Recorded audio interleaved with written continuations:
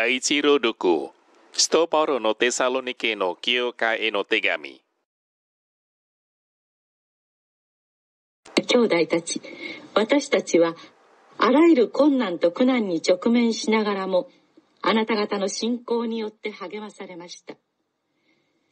あなた方が主にしっかりと結ばれているなら、今私たちは生きていると言えるからです。私たちは神の見前であなた方のことで喜びにあふれています。この大きな喜びに対してどのような感謝を神に捧げたらよいでしょうか。顔を合わせてあなた方の信仰に必要なものを補いたいと夜も昼も切に祈っています。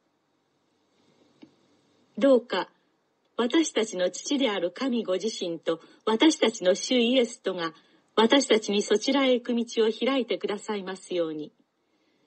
どうか主があなた方をお互いの愛と全ての人への愛とで豊かに満ち溢れさせてくださいますように。私たちがあなた方を愛しているように。そして私たちの主イエスがご自身に属するすべての聖なる者たちと共に来られる時あなた方の心を強め私たちの父である神の見前で聖なる火の打ちどころのないものとしてくださるように。アーメン。神の御言葉、神に感謝。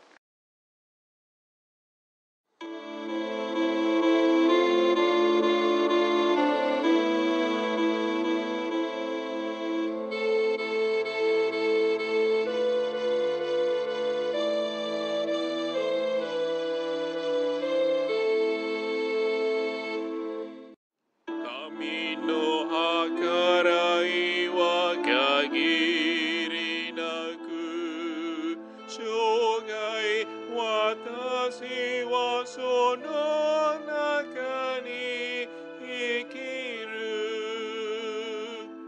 主よあなたは世々に渡って私たちの住まい。世界が作られる前から永遠にあなたは朝ごとにあなたの慈しみを注ぎ日々私たちに喜びの歌を歌わせてください神の計らい。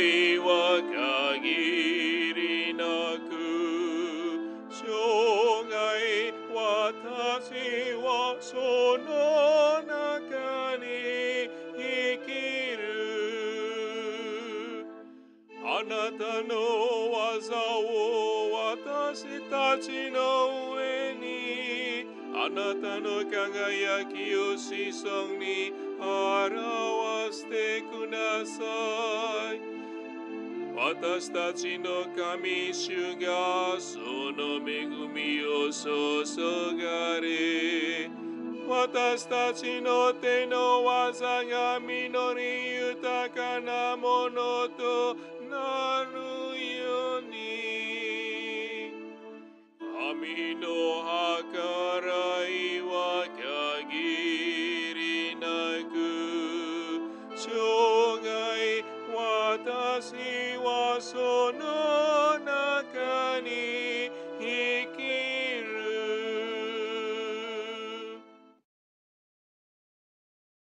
レルヤハレルヤハレルヤ目覚めて用意していなさい人の子は思いがけない時に来る。ハレルヤ、ハレルヤ、ハレルヤ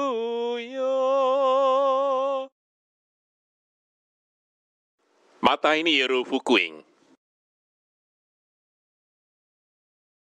その時、イエスは弟子たちに言われた。目を覚ましていなさい。いつの日、自分の主が帰って来られるのかあなた方にはわからないからである。このことをわきまえていなさい。家の主人は、泥棒が夜のいつ頃やってくるかをしていたら目を覚ましていて、みすみす自分の家に押し入らせはしないだろう。だから、あなた方も用意していなさい。人の子は思いがけない時に来るからである。主人がその家の使用人たちの上に立てて、時間通り彼らに食事を与えさせることにした忠実で賢いしもべは一体誰であろうか。主人が帰ってきたとき、言われた通りにしているのを見られるしもべは幸いである。はっきり言っておくが、主人は彼に全財産を管理させるに違いない。しかしそれが悪いしもべで、主人は遅いと思い、仲間を殴り始め、酒飲み、どもと一緒に食べたり、飲んだりしているとする。もし、そうなら、そのしもべの主人は、予想しない日、思いがけない時に帰ってきて、彼を厳しく罰し、犠牲者たちと同じ目に合わせる。そこで泣きわめいて歯ぎしりするだろう。主の御言葉、キリストに賛美。